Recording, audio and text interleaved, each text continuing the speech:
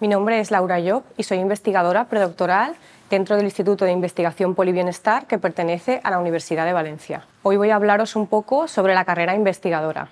Para iniciar la carrera investigadora podemos hacerlo antes de terminar nuestros estudios de grado, antes de ser graduadas o graduados. Para eso tenemos que cumplir varios requisitos. Tenemos que estar, encontrarnos en tercer curso habiendo superado el 75% de los créditos de nuestro grado y estar matriculados del 100% de los créditos de grado restantes. Cumpliendo estos requisitos, podemos solicitar una beca de colaboración del Ministerio o ayudas al inicio de la investigación del SEDI. Para ello tenemos que vincularnos a un proyecto de investigación que exista en nuestro departamento, dentro de nuestra área de conocimiento, y preparar un proyecto en el que se trabajará dentro del departamento durante varios meses del año del último curso, mientras estudiamos el grado en el que nos encontramos matriculadas y matriculados. Uno de los requisitos que hay que cumplir también es la nota media, que suele estar alrededor del 7-8, dependiendo del área de conocimiento en la que nos encontremos cursando nuestros estudios.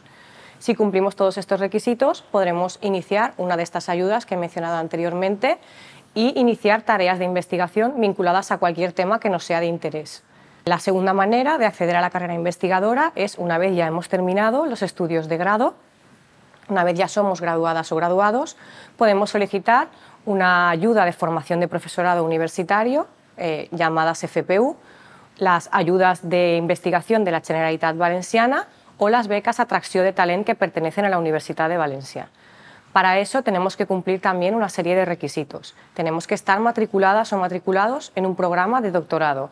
Tenemos que también cumplir con el requisito de la nota media, que suele estar alrededor de 8, eh, dependiendo del área de conocimiento y debemos también vincularnos a un proyecto de investigación que esté en curso o que vaya a comenzar con nuestro director o directora de tesis que, digamos, avalará nuestra solicitud para la FPU.